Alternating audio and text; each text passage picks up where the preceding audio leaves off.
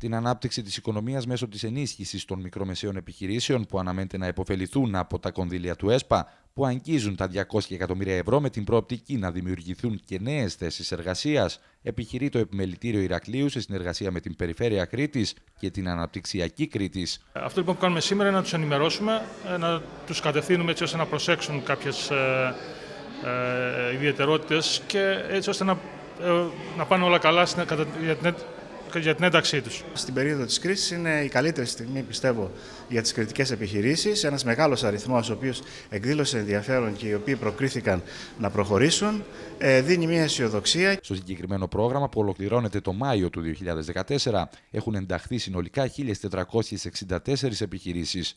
Ενώ για πρώτη φορά, όπως τόνισαν οι διοργανωτές, υπάρχει συνεργασία και με τα τέσσερα επιμελητήρια του νησιού γεγονός που δημιουργεί προοπτικές ανάπτυξης στις περιφέρειες της Ευρώπης. Εκτιμούμε ότι το μοντέλο αυτό είναι ό,τι καλύτερο μπορεί να υπάρξει, διότι η αξιολόγηση των προτάσεων από τη στιγμή που η περιφέρεια είχε τον πρώτο λόγο μαζί με τα επιμελητήρια, σε τέσσερις μήνες αξιολογήθηκαν οι προτάσεις και έχουμε τις εγκρίσεις. Ενώ σε αντίθετη περίπτωση από το Υπουργείο είχαμε 16 με 18 μήνες στην αξιολόγηση των προτάσεων. Ο κύκλος των ενημερωτικών εκδηλώσεων ανάμεσα στα στελέχη της Περιφέρειας και των δικαιούχων των τεσσάρων νομών της Κρήτης ξεκίνησε ήδη από τα Χανιά και το Ηράκλειο, ενώ το επόμενο διάστημα ανάλογες εκδηλώσεις θα πραγματοποιηθούν στο Ρέθυμνο και το Λασίθι.